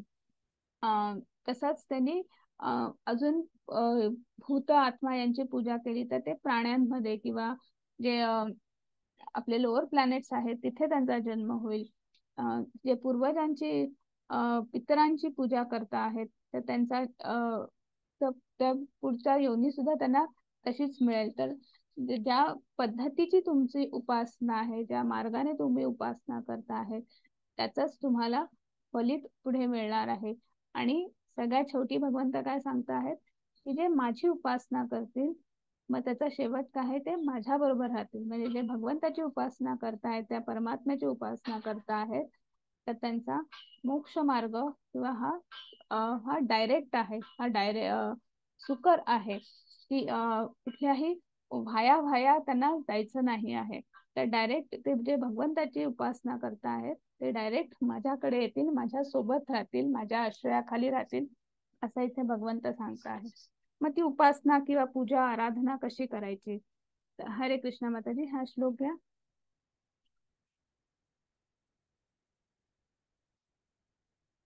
हरे कृष्ण.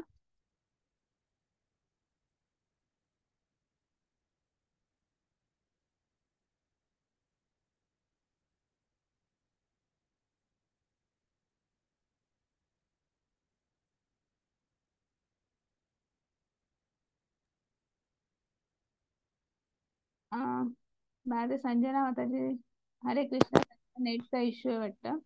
मीच वाचते हा मी श्लोक. घेतो. हा हा बोला बोला चालेल. पत्रं पुष्पं फलं तोयं यो मे भक्त्या प्रयच्छति तदहं भक्त्युपर्युतम् अश अश्रामि प्रयतात्मनः। म्हणजे जर कोणी मला प्रेमाने आणि भक्तीने एखादे पान फूल फळ किंवा पाणी अर्पण केले तर मी ते स्वीकारेन. खूप छान प्रभूजी खूप छान. हरे कृष्णा माझ्या भगवंताची उपासना आपण जे पाहिलेलं आहे की अं, रोज आपण भगवंताला काय अर्पण करायचं तर भगवंत सांगत आहेत प्रेमाने जो कोणी मला पत्रम पुष्पम फलम तोयम पत्रम म्हणजे तुळशी पत्र पुष्प म्हणजे कुठलंही फूल. फलम म्हणजे आपल्या घरात कुठलंही फळ असतंच की नाही त्यामुळे एखादं फळ आणि तोयम तोयम म्हणजे पाणी. तर फूल फळ पाणी आणि पान म्हणजे तुळशी पत्र जो जो प्रेमाने जो कोणी स्वीकार भगवंताला अर्पण करेल किंवा भक्ती भावनेने भाव महत्त्वाचा की नाही जो अर्पण करेल तर ते मी निश्चितच त्याचा स्वीकार करेल असं इथे भगवंत सांगता आहेत. मग आपण ज्या भक्तीचे नऊ प्रकार पाहिले की नाही मग प्रत्येकाने आपापल्या पद्धतीने भगवंताची उपासना करायचा किंवा भगवंताची भक्ती करायचा प्रयत्न केला होता. तर आपण त्या नऊ प्रकारांमध्येच आपण पाहिलं. तर शुकदेव गोस्वामी जे आहेत त्यांनी काय केलं की भगवंताची भक्ती ही त्यांनी नाम घेऊन म्हणजे संकीर्तन घेऊन त्यांनी भगवंताची भक्ती केली. आणि म्हणजे काही भगवंताबद्दलचे ते ज्ञान जे होतं ते त्यांनी परीक्षित महाराजांपर्यंत पोहोचवलं. परीक्षित महाराज यांनी काय केलं की श्रवणम म्हणजे त्यांनी ते ज्ञान जे आहे ते ऐकण्याचं काम केलं ते ग्रहण करायचं काम केलं आणि अशा पद्धतीने त्यांनी ती भक्ती केली. त्याच्यानंतर स्मरणम प्रल्हाद महाराज जे होते त्यांच्या सतत स्मरणामध्ये भगवंत राहायचे. अं त्याच्यानंतर पादसेवन याच्यामध्ये माता लक्ष्मी. माता लक्ष्मी सतत भगवंताच्या चरणांच्या अं सेवेमध्ये लीन असतात. त्याच्यानंतर अर्चनम पृथू महाराज जे होते ते सुद्धा भगवंताचे थोर असे भक्त होते. तर ते भगवंताची अर्चना म्हणजे पूजा करत असत. वंद वदनम वंदनामध्ये उद्धव आहे. त्याच्यानंतर ध्रुव महाराज आहेत की जे सतत भगवंताला वंदन करत असत. सख्यममध्ये अर्जुन अर्जुनासारखा मित्र आहे. आत्मनिवेदनामध्ये बली महाराज आहेत की त्यांनी एका क्षणाचा कुठलाही विचार न करता त्यांनी अं, संपूर्ण आपलं जे काही आहे साम्राज्य आपण म्हणू शकतो तर ते भगवंताला अर्पण केलं. तर हे सगळं जे आहे की हे आणि शरण गेले भगवंताला. तर हे सगळं जे आहे की हे असे वेगवेगळे प्रकार आहेत. आणि ही वेगवेगळी उदाहरणं असंच आता आपण बघितली. तर तुम्ही जो जसा भक्तिभाव आहे तशा पद्धतीने तुम्ही जे काही अर्पण करता आहात त्या पद्धतीने भगवंत स्वीकारता आहेत. आणि मग त्याच्या व्यतिरिक्त अजून काय करू शकतात? हरे कृष्णा हे वाचू शकाल का? नाही तर मग मी वाचते. वाचते माताजी अच्छा यत् ओके हा. हरे हरे कृष्ण. यत् करोषि यदश्नासि यज्जुहोषि ददासि यत् यत् पश्यसि कौंतेय तत् कुरुष्म मदर्पणम हे कुंतीपुत्रा तू जे काही करतोस जे काही खातोस जे काही अर्पण करतोस आणि दान करतोस ते तू जे काही तपस्या करतो ते सर्व मला अर्पण म्हणून करावे. हरे कृष्ण. हरे कृष्ण. मग आता इथे पुन्हा सांगता आहेत की अं पुन्हा इथे आपल्याला कुठेतरी भगवंत आपल्याला अर्पण करायला सांगताहेत. म्हणजे काय तर आपण आपल्या कर्माचा यज्ञ यज्ञ करा आहुती द्या. म्हणजे काय? जे काही आपण खाणार आहोत जे काही आपण करणार आहोत आपली जी काही क्रिया आहे कृती आहे कर्म आहे तर हे तुम्हाला मग तुम्ही दानादी कर्म करता आहात तुम्ही कुठलेही चांगलं कर्म करताय म्हणजे तुम्ही जे काही करता आहात दिवसभरातली जी काही तुमची दिनचर्या आहे ती एक तपस्या म्हणून ती तिचा स्वीकार करा आणि त्या पद्धतीने तुम्ही ती करा आणि ती भगवंताला अर्पण करा. तिची त्याच्या फळाची आहुती द्या. ते भगवंताला ते सगळं फळ अर्पण करून टाका. आणि अशा अशाने काय होईल की तुम्ही कर्मबंधनात अडकणार नाही. तुम्ही कर्मसन्यासी व्हाल आणि निश्चितच तुम्ही भक्ती मार्गामध्ये भगवंताच्या हळूहळू तुम्ही भगवंताजवळ म्हणा किंवा ते आध्यात्मिक आपला जो प्रवास आहे किंवा आध्यात्मिक जी उन्नती जी आहे ती आपण हे केल्यानंतर आपण साधू शकणार आहोत किंवा असा हा आपला प्रवास असेल किंवा अशा पद्धतीने आपण आपल्यामध्ये बदल घडवून आणू शकतो किंवा पण परवाच मला कोणीतरी प्रश्न विचारला होता की अद द्वैताकडून अद्वैताचा प्रवास कसा असला पाहिजे किंवा त्यासाठी काय केलं पाहिजे? तर हे सगळे मार्ग जे आहेत हे भगवंतांनी सांगितलेले आहेत की द्वैताकडून अद्वैताकडेचा जो प्रवास जो आहे तर हे मार्ग जे आहेत तर ह्या सगळ्या गोष्टी आपल्याला केल्या पाहिजेत. आणि मग त्याच्यानंतर भगवंत पुढे सांगतो आहेत. हरे कृष्णा माताजी. हरे कृष्ण. समोहम सर्वभूतेषु न मे द्वेषस्ति न प्रियः ये भजन्ति तु मा भक्त्या मयि ते तेषु चाप्यहम्। मी कोणाचा द्वेष करीत नाही तसेच कोणाची करीत नाही. सर्वजण मला सारखेच आहेत परंतु जो कोणी भक्तिभावाने माझी सेवा करणार हरे कृष्ण. हरे कृष्ण. मग आता इथे सांगताहेत माझा कोणी द्वेष करत मी कोणाचा द्वेष करत नाही पक्षपात करत नाही. म्हणजे इथे भगवंत काय सांगता आहेत की सगळेजण मला सारखेच आहेत. म्हणजे भगवंताचे भक्त आहेत आणि जे भक्त नाहीत. मी सगळेजण भगवंताचे आता उदाहरण द्यायचं झालं तर आईला दोन मुलं असतात. एक मुलगा फार गुणी बाळ असतो एक मुलगा द्वाड असतो. मग म्हणून काय द्वाड बाळ आईला आवडत नाही का? नाही आईला दोन्ही मुलं सारखेच आहे दोन्ही मुलांवर आई तितकंच प्रेम करत असते. त्यामुळे भगवंतांसाठी सगळे सारखे आहेत. सगळ्यांवर भगवंत त्याच पद्धतीने प्रेम करत असतात. पण भगवंत काय सांगता आहे? जो भक्तिभावाने माझी सेवा करतो आहे मला भजतो आहे माझा पूजन करतो आहे मला माझ्या स्थायी सतत स्थित आहे माझं स्मरण करतो आहे. तर मी सुद्धा त्याचा मित्र आहे मी सुद्धा तितकंच त्याला भरभरून देत असतो. असं कुठेतरी भगवंत सांगता आहेत. आणि मग पुढे लगेच म्हणतायत हरे कृष्ण माताजी. हरे कृष्ण. अपि चेत्सु दुराचारो भजते माम नन्य भाग साधुरेव समंतव्य सम्यग् व्यवस्थितो ही सहा जरी एखादा अत्यंत घृणास्पद कृत्य केली तरी तो भक्ती सेवेत गुंतला आहे. असेल तर तो योग्य स्थितीत असल्यामुळे त्याला संत मानले पाहिजे. हरे हरे कृष्णा मग आता इथे भगवंत काय सांगत आहेत की एखाद्याने जरी घृणास्पद कृत्य केले म्हणजे आता आपण पाहिलेलं आहे त्या हरिदास ठाकूरांची पण गोष्ट पाहिली होती की ज्याच्यामध्ये ती वेश्यास्त्री आहे ती तिची वैष्णवी झाली आहे. त्याच्यानंतर आपण काल अजामिलची गोष्ट पाहिली त्याच्यानंतर आपण मृगारीची गोष्ट पाहिली आपल्याला वाल्मिकी ऋषींची गोष्ट माहिती आहे की ते आधी वाल्याकोळी होते. म्हणजे त्यांनी आधी काय कृत्य केलं आहे? पण त्यानंतर ते भगवंताला शरण गेले. भगवंताच्या स्मरणामध्ये भगवंताच्या भक्तीमध्ये लीन झाले. आणि त्यामुळे त्यांना त्यांचं नंतरचं काय स्वरूप आहे? भक्तीमध्ये गुंतल्यानंतर ते नंतर महात्मा झाले गुरुपदावर गेले ऋषी पदावर गेले संत पदावर गेले. तर त्यांना त्या पद्धतीने त्यांचा स्वीकार केला पाहिजे. असं भगवंत सांगता आहेत. हरे कृष्णा माताजी. आणि ते का त्याचं कारण पण लगेच भगवंताने दिलेलं आहे. हरे हरे कृष्ण माताजी. हरे कृष्ण हरे कृष्ण. क्षिप्रम भवती धर्मात्मा शाश्वत शांती निगच्छति कौन्तेय प्रतिजानीहि न मे भक्त हा प्रणश्यती तो त्वरित नीतिमान बनतो आणि शाश्वत शांती प्राप्त करतो. हे कुंती पुत्र माझ्या भक्ताचा कधीही नाश होत नाही. निर्भयी हो आणि ही घोषणा कर. हरे हरे कृष्ण. मग आता इथे भगवंत काय सांगत आहे? जो माझ्या भक्ती सेवेमध्ये रममाण आहे भक्ती सेवेमध्ये गुंतला आहे तो त्वरित नीतिमान होतो. जो भक्तीमध्ये गुंतलेला आहे त्याचे तसेच शुद्ध सात्विक विचार वाढीस लागतात. त्यामुळे तो नीतिमान नीतिमान बनतो. शाश्वत त्यामध्ये शाश्वत शांती जी आहे किंवा परमानंद जो आहे तो प्राप्त करण्याचा प्रयत्न करतो नव्हे तो प्राप्त करतो.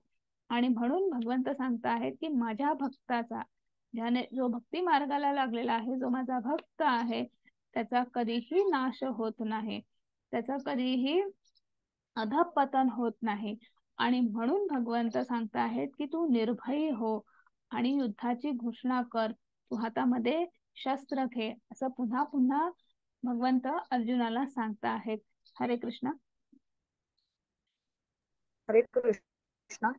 माही पार्थ व्यपाश्रित्य येऽपि स्युपापयोनयः स्त्रियो वेश्यास्तथा शूद्र। अस्तेऽपि यान्ति परागतिम् हे पृथाच्या पुत्रा जे माझा आश्रय घेतात जरी ते निम्र जम निम्न जन्माचे असले तरी स्त्रिया वैश्या म्हणजे व्याप्त तसेच शूद्र म्हणजे कामात सर्वोच्च स्थानापर्यंत पोहोचू शकतात. हरे कृष्ण. मग भगवंत काय सांगता आहेत की जे माझा आश्रय घेतात जे माझे भक्त होतात म्हणजे जरी निम्न जन्माचे असतील किंवा जे कनिष्ठ वर्गामध्ये भगवंत हे परमपुरुष पुरुषोत्तम आहेत आणि प्रकृती जी आहे ही कनिष्ठ आणि त्या प्रकृतीमध्ये जन्माला आलेले सगळे कनिष्ठ वर्गातले सर्व जण कोणीही भगवंताची अं भगवंताच्या भक्तीमध्ये लीन झाले तर ते उत्तम स्थानापर्यंत सर्वोच्च स्थानापर्यंत पोहोचू शकतात असं भगवंत सांगत आहेत. आणि मग भगवंताची भक्ती कशी करायची? तर पुन्हा ते तेच सांगता आहेत. हरे कृष्ण माताजी.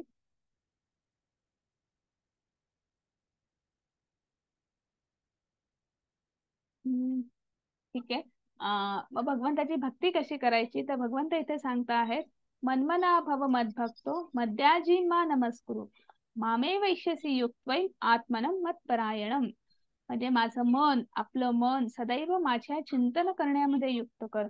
माझा भक्त हो मला नमस्कार कर माझं पूजन कर माझ्यामध्ये पूर्णपणे रममाण हो। म्हणजे असं जर तू केलंस तर निश्चितच मला प्राप्त करशील।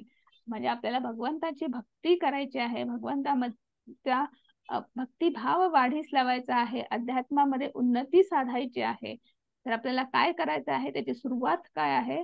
तर आपलं मन जे आहे ज्याचा मनाचा वेग कसा आहे की नऊ लाख माइल्स पर सेकंद पण त्याला नियंत्रणाखाली कसं आणायचं असेल? किंवा त्याला कंट्रोल कसं करायचं असेल? तर त्याला पुन्हा पुन्हा पुन्हा पुन्हा एका जागेवर आणून कसं ठेवायचं असेल? तर आपल्याला एकाच गोष्टी आपलं लक्ष केंद्रित केलं पाहिजे. मग ते लक्ष काय आहे?